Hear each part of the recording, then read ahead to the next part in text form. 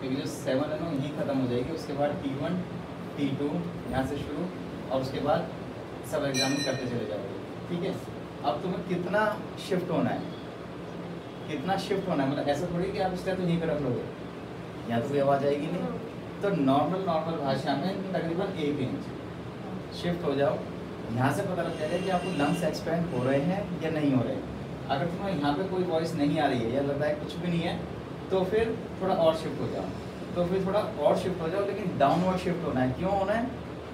क्योंकि यहाँ पे स्केप आ रही है। ठीक है अगर आप ऐसे शिफ्ट होना चाहते हो तो फिर पेशेंट को बोलो अपने हाथों को ऐसे ऐसे कर लो दूसरे हाथ ऐसे लाओ।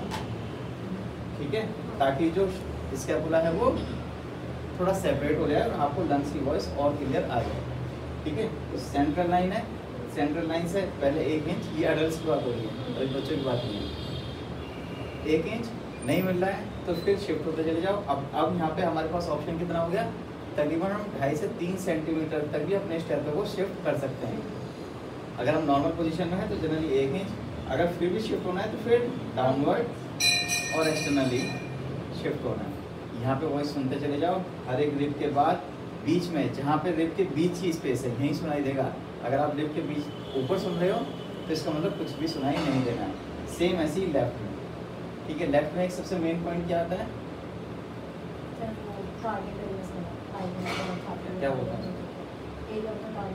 ट्राइंगल ऑफ़ ऑस्कल्टेशन इसकी क्या खास बात है?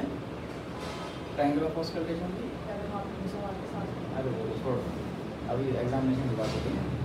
इसी खास बात यह है कि तुम यहाँ से डायरेक्ट लंग्स को छोड़ लंग्स के बिना हार्ट को सुन सकते हो। ये इसकी सिग्निफिकेंस है। ठीक है? तो इसको ढूंढना थोड़ा मुश्किल होता है लेकिन मिल जाता है।